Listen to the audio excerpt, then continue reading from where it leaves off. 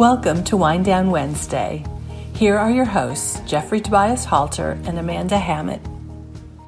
Well, good afternoon. Today we are talking with Tamika Curry Smith about human resources and diversity, equity, and inclusion. Just a few topics here.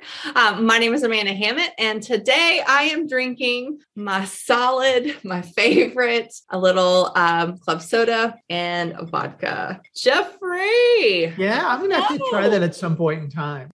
yeah, that at some point in time. You know, so, it's uh, but it's summer. I'm actually enjoying a nice Pinot Grigio with a couple ice cubes. You know, it's it's hot here in Georgia, and you gotta you gotta stay refreshed. So uh, sometimes I throw a little ice in. I know the wine purists out there rolling their eyes, but you know what? You got to roll the way you roll. If you live in Georgia, you understand. you would certainly add some wine. But today it is my pleasure to introduce a returning guest and a friend and colleague, Tamika Curry Smith. Uh, Tamika was one of our first guests on Wind Down Wednesday at that time. And we spoke about returning to the office, inclusion, and belonging in one of our earlier episodes. Today, we're thrilled to welcome her back to talk more about DE and I. But first, an amazing introduction. Uh, Tamika Curry Smith is a global HR and diversity, equity, and inclusion executive who is currently Chief Diversity Officer at ARM Ltd. Limited, the world's leading semiconductor IP company. She's also an advisor to Goldman Sachs, where she works with early stage company in Goldman in Goldman's asset management division portfolio prior to her roles and where I got to know her is leading DE&I at Nike, Mercedes-Benz, Target, and Deloitte. Such an impressive resume and, and so many experiences drawn. She's a lifetime member of the National Black MBA Association, currently serves on the alumni board of directors at the Ross School of Business, as well as the Kellogg School of Management on Inclusion Coalition. Tamika is an entrepreneur leading her own company, the TCS Group Inc., an HR and DEI consulting firm. Tamika, yes, back to Wind Down Wednesday. How Thank you, you for that. Thank you. It's so great to be back. Thank you for that long bio read, Jeffrey. Uh, it's always a bit odd to hear people uh, talk about um, yourself, uh, but I'm excited to be back and uh, really looking forward to our conversation today. So thanks for having me. Well, wonderful. So you got to share with the audience what are you drinking today? So the first time I was here, I had a margarita, which is one of my favorite drinks. Now I'm going with red wine, which is Ooh. probably my second favorite, sometimes my first, depending on what has gone on that week.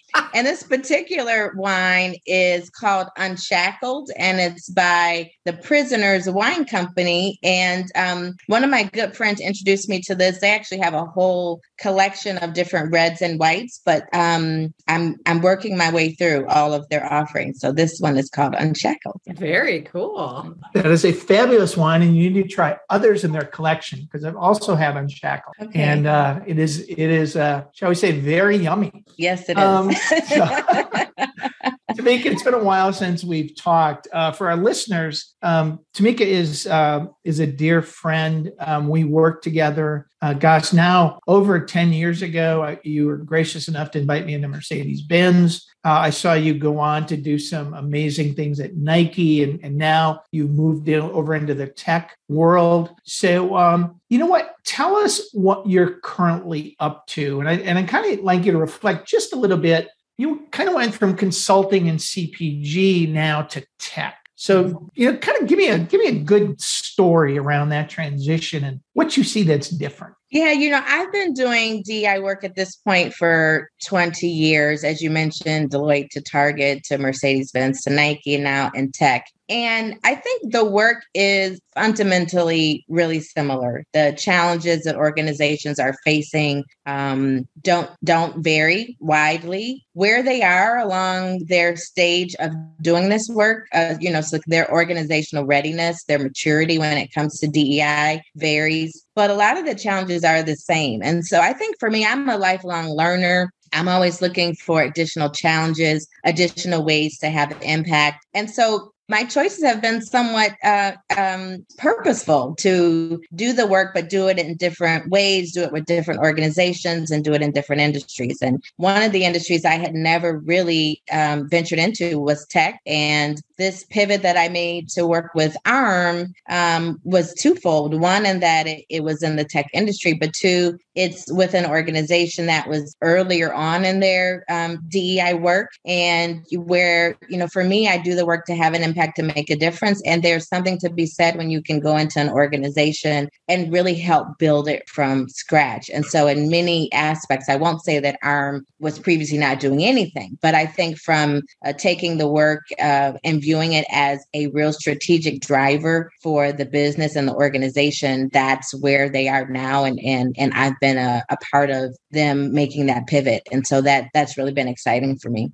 Tamika, I love this. I, I love kind of your background and, and where you've taken your career. Could we talk a little bit more about ARM, what you're doing, maybe even share a success story? Yeah, I mean, and I can, there's so much work to be done in this space, as I think, as you both know. And when I joined ARM, it's been roughly about a year when I joined. As I mentioned, the organization had done a number of things previously in this space, um, but they were really trying to elevate their commitment to DEI and then more specifically to drive action and to drive change. And so, one of the things that they did that I think and wish more organizations would do is to do do an assessment. So they brought in an external organization, the Ivy Planning Group, who is um, a, a, great company that does a lot of DEI work and, and really drives it within organizations. But they came in, they did an assessment, both qualitative and quantitative. And what that assessment did is really provided um,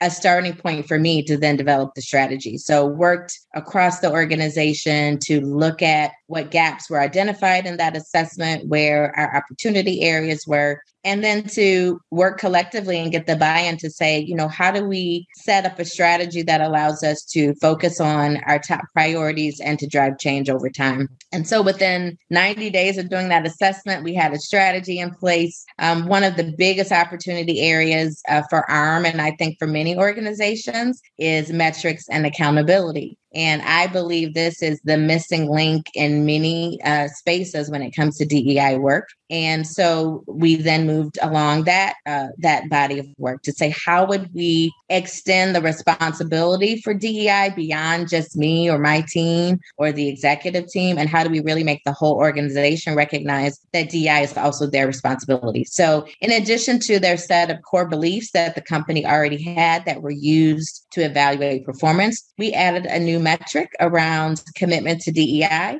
And um, that was then rolled out across the entire organization. So everyone at every level is measured on that. And we gave, of course, gave them some ideas, some thought starters um, for for everything from being uh, in an ERG and driving change, mentoring people, using inclusive tech language. Um, you know, those were just some of the examples of how you could be active. So they were things that were really attainable for everybody. And we made the comment and the focus that you know thinking about a commitment would be different. It's not one size fits all. What commitment to DEI looks like for someone like me who's been doing this work for 20 years i should be in the advanced realm of what it is that i'm going to do to really extend my commitment. For someone who maybe is just starting to understand the space theirs could be you know something that was really about educating themselves and reading some books or listening to a podcast like we're doing. And so we really tried to make um, the spectrum of what you could do um, be attainable. And so we rolled that out. Um, actually, just finished our uh, review cycle in March for that. And now that is a part of the way that we evaluate performance and help people understand in the company that it's an expectation of everyone.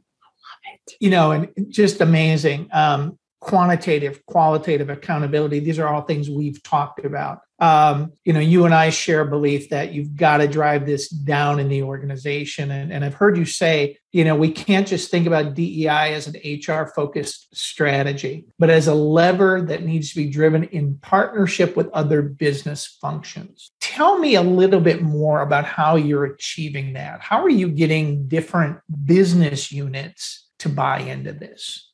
I think it really starts with framing the work um, and letting people know what DEI work really is. And so I'm a huge fan of the workforce, workplace, marketplace, community framework because I think when you lay that out, I, I typically show it visually as a, as a house with four pillars, and each of those things are the pillars. And then the foundation of that house are things like metrics and accountability and communication and um, you know leadership commitment. And so when you you can one graphically show people what is DEI work, what is a holistic DEI strategy, and then you're able to then drive down into each of those pillars and to show that the work is more than just HR. Now, certainly a lot of the workforce and workplace initiatives either are owned by different HR functions or done in partnership with HR. But guess what? Even business leaders have to be responsible for things like talent acquisition and talent management and culture and um, you know performance management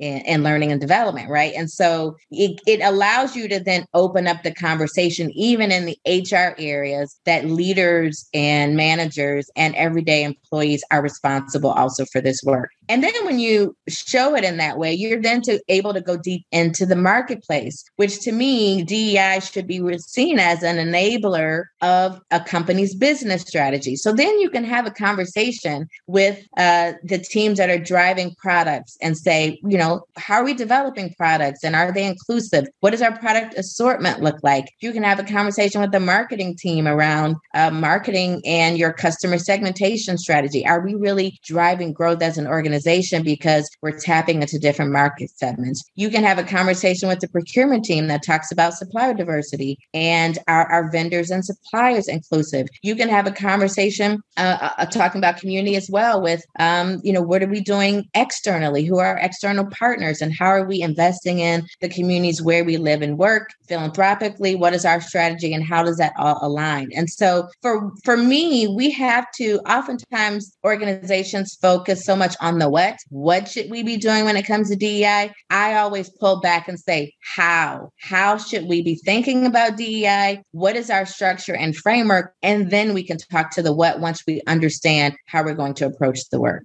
I love this. And I think that for a lot of people, it, you're right. They do fo- have that one minded focus, but your how is really the important piece. So DEI is, is often viewed as, as HR work, and chief diversity officers typically will report into HR. Can you share your perspective, Tamika, on how to approach DEI and what the partnership between HR and DEI really should look like ideal world? So I have pretty strong feelings in this space. And, uh, you know, maybe they're a little bit controversial because I would say probably in the benchmarking I've done, two thirds of CDO roles still report into HR. Mm-hmm. And we're seeing a bit of a shift. I will say, certainly in the last year, I'm seeing more uh, CDOs report into business functions, but HR uh, is definitely, you know, still the norm. And by no means, as I just articulated, am I saying that DI work does not touch and should not have, you know, be uh, involved with HR. In fact, HR is instrumental in driving change when it comes to DI. But I think HR should be a partner um, to the CDO and be viewed as just as the CMO as a partner, just as the uh, you know uh,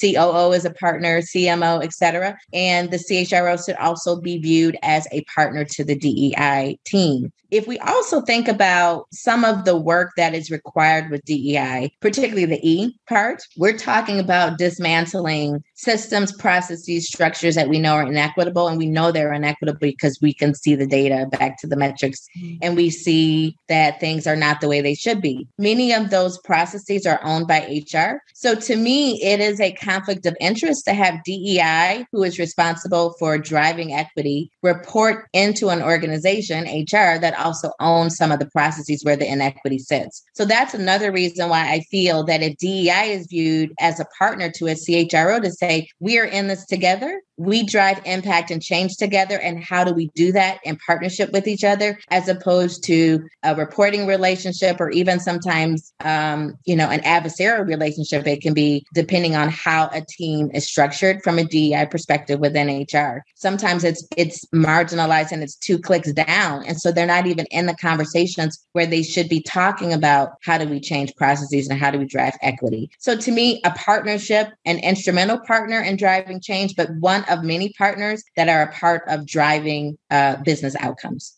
Tamika, you and I share this belief. It is controversial. It is something I am so passionate around that I think many organizations have gotten wrong and it's trending in the wrong direction. So, what I want to do is invite you in uh, for another episode. So I'm going to give all the, our listeners a teaser that Jeff and Tamika are going to uh, kind of attack this uh, paradigm of, of CDO and, and CHRO on our next episode. So Amanda, how's that for a for a little tease to get folks back? there you um, go. There you go. Controversial, and, and, we want to put you know something out there for people to talk about. But anyways, Tamika, thank you so much for joining us to share your insights on HR and DE and I. Um, we're going to have you back again in a few okay. weeks, and we're going to explore this a little deeper. Follow Tamika Curry Smith on LinkedIn to stay up with her current work and new initiatives. Additionally, uh, for information about her company and her work, please go to the